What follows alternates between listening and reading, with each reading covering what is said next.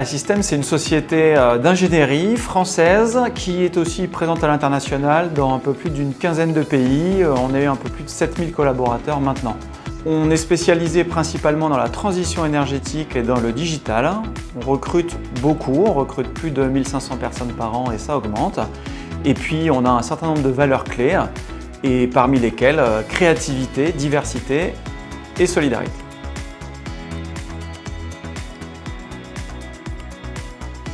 Nous, chez Assystem, notre euh, métier, c'est de contribuer à la réussite des grands projets.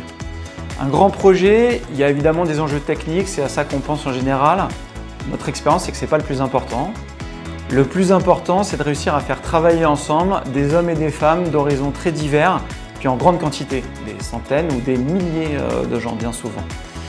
Et donc, au fond, ce qui compte, c'est la compétence collective. C'est ça qui est dur et c'est ça qui est intéressant.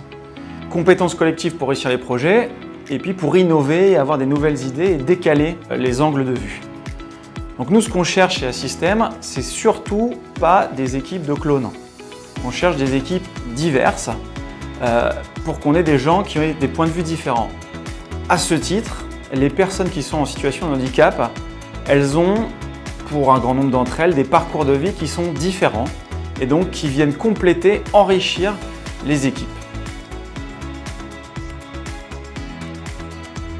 Sans hésiter, euh, je dirais que c'est un sujet qui fédère les équipes aujourd'hui.